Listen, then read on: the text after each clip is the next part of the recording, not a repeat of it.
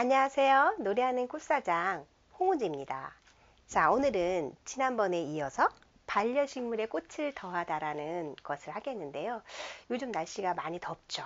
더워서 꽃을 어떻게 하면 오래 볼 수 있을까 해서 제가 생각해낸 꽃상자에 반려식물을 넣어서 꽃과 함께 예, 장식을 해서 생일이라든지 결혼기념이라든지 어떤 기념일에 어, 꽃을 보내고 싶은데 여름이라서 꽃이 빨리 시드는 아쉬움이 있죠. 그래서 그 예쁜 꽃들을 오래 볼 수 있게 하기 위해서 생활은 좀 짧게 꽂고 이렇게 반려 식물, 꽃들, 포트 화분들을 상자 안에 넣어서 꽃과 함께 짬짜면처럼 음, 꽃을 디자인하는 방법을 해보도록 하겠습니다.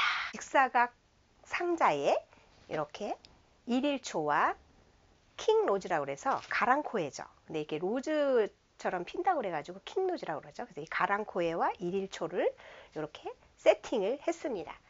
자, 이렇게 해서 원래는 이렇게 상자가 이렇게 직사각 상자고요. 깊이가 요 정도 됩니다. 그래서 이것을 이제 이렇게 접어서 이렇게 넣죠. 그래서 원래는 이제 이렇게 되어 있는 거죠. 이렇게.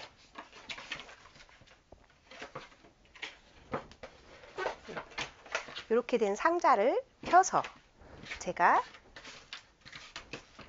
이렇게 해서 끈을 꽂아가지고 이렇게 했습니다. 가실 때는 이렇게 들고 가시면 되겠죠. 그래서 이렇게 반려식물만 포트 화분만 넣어서 할 수도 있고요. 위딜초인데 여기는 흰색이죠. 근데 여기는 핑크색입니다. 제가 그냥 이렇게 넣는데요. 이것을 넣었을 때 포장을 해야 돼요. 그냥 하는 게 아니라 이렇게 밑에 종이 상자로 되어 있기 때문에 이걸 좀 비닐로 포장을 해서 넣으셔도 되고 아니면 비닐로 밑에 깔아서 이것을 넣으셔도 됩니다. 그럼 이렇게 해서 어, 꽃상자 안에 꽃상자가 되죠. 직사각 상자에 이렇게 어, 반려식물을 넣어서 꽃을 볼 수 있도록 하기 때문에 이렇게 들고 가시면 되겠죠. 저희가 어버이날이라든가 기념일날 이렇게 뭔가 식물만 보기는 좀 그러니까 꽃이 핀 이런 식물들을 넣어서 이렇게 어, 백처럼 들고 갈 수 있는 그런 상품이 되겠습니다. 그래서 오늘 제가 이렇게 어, 식물을 넣을 수도 있고요. 꽃을 두 개를 넣었어요. 왜냐하면 어, 기념일에는 뭐니 뭐니 해도 꽃이 있어야 되겠죠. 축하의 자리이기 때문에. 그래서 여기에 일일초를 넣었는데 이 일일초는 보시면은요. 꽃이 오늘 이게 폈다. 그림 내일은 또 다른 꽃이 대기하고 있습니다. 그래서 여기 보시면 일일초는 말 그대로 하루하루 피는 꽃이에요. 그래서 6월부터 7월, 8월, 9월까지 꽃이 핍니다. 그래서 꽃을 피는 개화 기간이 길은데 하나의 꽃이 개화 기간이 길은 게 아니라 하나의 줄기에 꽃들이 여러 개가 맺혀서 하나의 이런 꽃들이 피고 나면 그 뒤에 또 이렇게 몽우리가 또 대기하고 있습니다. 이렇게 해서 일일초는 컬러가 흰색도 있고 이렇게 핑크색도 있고 예쁜 다양한 색상들이 있습니다. 그리고 이 가랑코에는 다육이처럼 이렇게 이파리가 두껍습니다. 그래서 꽃이 지고 나면 여기를 잘라줍니다. 그러면 또 여기서 꽃이 계속 나옵니다. 그래서 어, 물을 좋아하지 않아요. 그래서 여기에 가랑코에는 물을 좋아하지 않기 때문에 물을 한 일주일에 한 번 정도 주시면 되고요. 일일초는 잎이 얇습니다. 잎이 얇기 때문에 물을 한 3일에 한 번 정도 주시면 좋겠습니다. 자, 그래서 이렇게 제가 양쪽 좌우에 이렇게 세팅을 한 다음에 여기 보시면 자세히 보시면 이렇게 오아시스가 T자 모양으로 되어 있습니다. 그래서 T자 모양으로 해서 앞에도 꽂고 뒤쪽에도 꽂을 수 있는 그런 꽃이 되겠죠. 그래서 이 직사각 상자에 이렇게 허리띠를 어, blue 리본으로 어, 묶었습니다. 근데 여기에 꽃을 더하면 더 이쁘겠죠. 그래서 꽃이 시들고 나면 이 상태가 됩니다. 그래서 이 상태로 여기 지금 밑에 플로드지 포장지를 깔아서 했기 때문에 물을 부어도 어, 종이 상자가 젖지 않습니다. 그래서 이대로 꽃이 다 질 때까지 보시다가 화분을 가를 수 있겠죠. 그래서 보내시는 분을 오래오래 기억할 수 있어요. 그래서 저희 홍문주 꽃예술원에도 이렇게 받으신 분들이 여기 보면 스티커가 보이시죠? 그래서 홍문주 꽃예술원 저희 이제 스티커가 있습니다. 그래서 이것을 보시고 재 주문을 하시는 분도 많이 있습니다. 자, 오늘 제가 이제 이렇게 상자에다가 꽃을 한번 꽂아 보겠는데요. 제가 밖에서 이렇게 소재를 채취를 해왔습니다. 짜잔! 예쁘죠?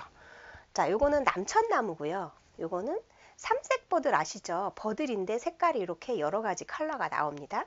그리고 이렇게 핑크색 꽃을 피는데요. 요게 보통 5월달 정도에 꽃이 많이 피는데 지금도 이렇게 또 새싹이 예쁘게 연그린으로 나오면서 꽃이 예쁘게 핑크색으로 피더라고요. 그래서 황금 조팝이라고 합니다. 그래서 이렇게 컬러가 되게 다양하지요. 그래서 이게 흰색이기 때문에 그린을 쓰실 때도 이렇게 약간 이거 어울리는 그러한 그린을 제가 약간 준비를 해왔는데요.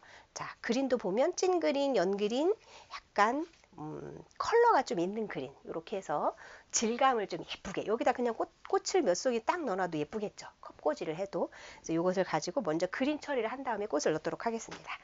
이 직사각 상자에 꽃이 들어가려면 이제 green을 한 가지 색상만 있는 것보다는 이렇게 여러 가지 색상으로 해주시는 게 좋습니다 이건 남천나무 잎인데요. 그리고 이거는 황금 조팝입니다. Salix 버들 종류예요. 근데 셀렉스를 이렇게 핑크색도 있고 이렇게 약간 아, 하얀색도 있죠. 그래서 이 셀렉스를 가지고 같이 이렇게 세 가지 잎을 가지고 한번 해보도록 하겠습니다. 자, 먼저 이렇게 남천나무 잎을 이렇게 기른 거를 자릅니다. 이렇게 기른 걸 잘라서 좌측과 우측으로 놓습니다. 이렇게 해서요. 먼저 에어리어 크기를 좀 정해줍니다. 자, 이쪽에도 하나를 좀 넣어주고요. 이렇게. 그래서 이렇게 꽃이 우위로 있으면 밑에 수평으로도 좀 있을 수 있게끔 이렇게 해주고 또 앞쪽으로도 하나 이렇게 좀 해주시고요. 계단을 밟고 올라오는 것처럼 이렇게 그린을 이렇게 이렇게 이런 거를 이제 저희가 테라싱 기법이라고 하죠. 계단을 밟고 올라가는 것처럼 꽂는다 해서 테라싱 기법이라고 합니다. 그래서 이렇게 그린도 이렇게 계단을 올라가는 것처럼 딱 하나만 이렇게 똑같은 키로 꽂는 게 아니라 밑에는 넓으면서 낮게 꽂아주시고 위에는 조금 높게 이렇게 꽂아주십니다. 그리고 뒤에도 마찬가지로 똑같이 그린을 꽂습니다. 이렇게 여기에 이제 조금 흘러내리도록 이렇게 황금 조팝 나무를 꽂겠습니다. 자 이렇게 이렇게 해서 좀 깊이 꽂아줍니다. 앞에를 꽂았으면 항상 뒤에도 이렇게 똑같이 꽂습니다. 흐르는 느낌으로 이렇게 줍니다. 그러면 이제 이 박스 꽃상자가 굉장히 커졌죠. 그린을 꽂아주니까 이제 이렇게 꽃상자가 엄청 커졌습니다. 그래서 여기에는 화분이 있기 때문에 손으로 이렇게 조금 약간 어, 들쳐서 보이지 않는 부분도 꽂아줌으로 해서 빈 공간이 없도록 이렇게 해주시면 됩니다. 자, 이렇게 하면 뒤에도 아주 예쁘게 되었죠. 자, 그럼 이렇게 green을 처리한 다음에 이제 여기에 어, blue 리본을 달았다는 것은 blue 컬러의 꽃을 사용하겠다라는 뜻으로 해석을 하시면 됩니다. 카네이션, 음, blue 카네이션 예쁘죠? 하얀색하고 아주 잘 어울리고 시원합니다. 자, 그 다음에는 blue 장미입니다. 아주 예쁘죠? 청색이죠? 이렇게 꽃을 한 송이씩 찾는 분들이 많으세요.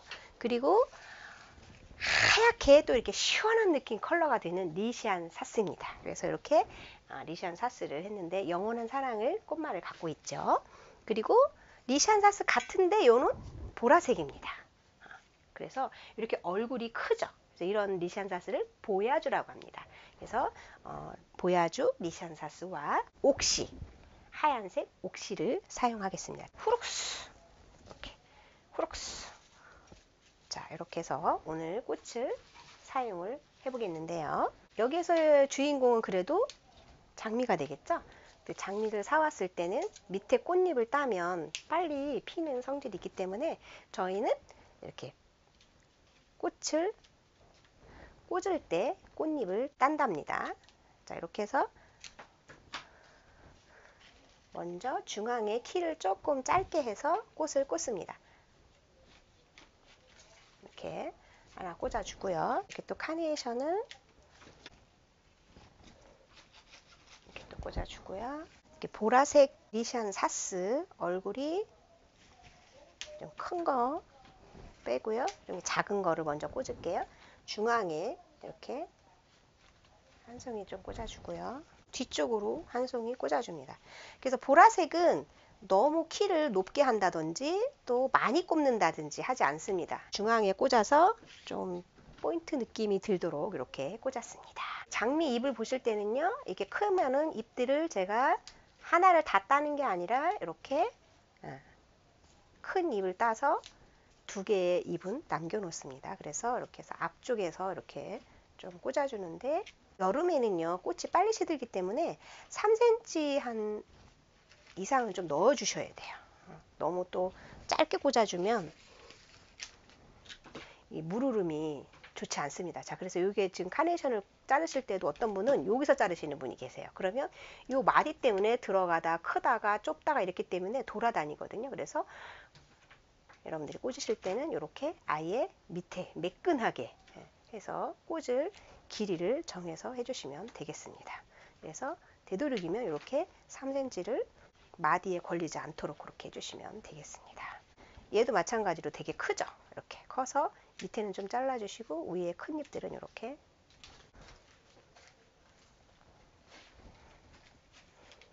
깊이 꽂아줍니다. 여름에는 꽃들이 물빨림을 잘 못해서 이렇게 깊이 꽂아주고요. 또 이렇게 후룩스는 이쪽에 흰색이 있기 때문에 약간 이렇게 가랑코에하고 같은 이렇게 비슷한 느낌이죠. 그래서 이렇게 옆에다가 하나 꽂아주겠습니다. 그리고 이제 리시안 사스를 이제 지금부터는 빈 공간에 넣어줍니다. 하얀색이 좀 있었으면 좋겠다 하는 공간에 넣어주면 되는데요. 얼굴이 큰 거는 좀 밑에 쪽으로 넣어주고 얼굴이 작은 거는 좀 위에 쪽으로 넣어줄 건데요. 여기서 이렇게 해서 1일초에 잎을 조금 이렇게 젖힌 다음에 이렇게 꽃을 넣어줍니다. 이렇게 넣어주면 1일초 안에서 꽃이 핀 것 같은 그런 느낌이 또 들지요. 자 여기서도 마찬가지로 한 송이 꽃을 또 넣어주고요. 뒤에도 또 이렇게 넣어줍니다.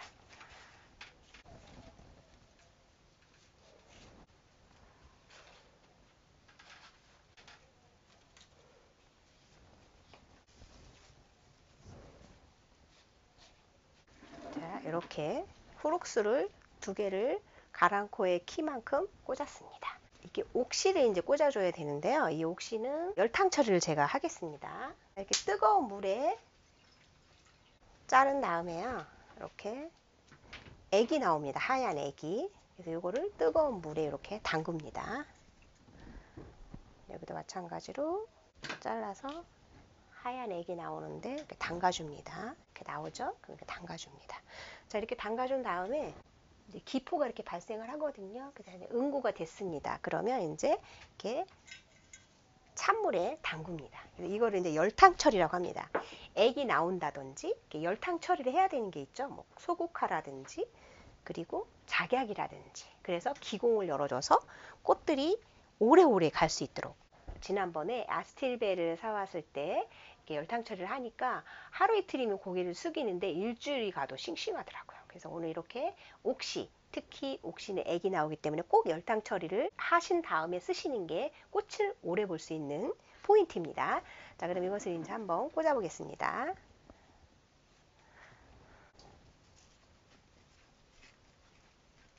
자, 이렇게 꽂았습니다.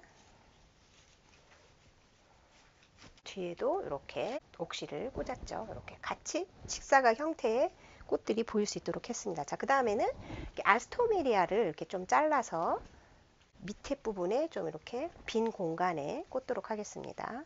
아스토메리아가 꼭 나비 같아요. 그쵸? 그래서 이렇게 나비 한 마리가 앉아있는 듯한 그런 느낌으로 이렇게 꽂아주시면 되겠습니다. 자, 이렇게 꽃을 꽂았고요. 이제 마무리로 냉이초는 아주 꽃다발 할 때도 좋고요. 분위기를 어, 내는 데도 아주 좋습니다. 아주 아기자기하게 생겨서 꽃다발 할 때도 좋고요. 어, 꽃과 꽃 사이에 이렇게 넣어줘도 아주 분위기를 예쁘게 연출을 할 수가 있답니다. 그래서 이렇게 해서 꽃과 꽃 사이에 한번 넣어보도록 할게요.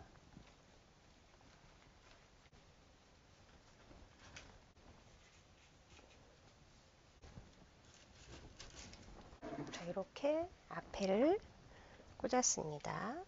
그리고 옆에도 꽂아줍니다. 자, 오늘 이렇게 반려식물 pot 화분을 두 개를 세팅해서 오아시스를 T자로 세팅을 한 다음에 생화를 arrange를 하였습니다. 자, 아까 화분만 보셨을 때와 지금 꽃을 더했을 때의 느낌이 아주 다르시죠. 이렇게 꽃을 더하면 더 예뻐진답니다. 그래서 우리가 이렇게 꽃을 선물을 할 때 pot 화분에 생화를 더해서 아름다움을 더 배가를 해서 선물을 받는다면 훨씬 더 좋겠죠.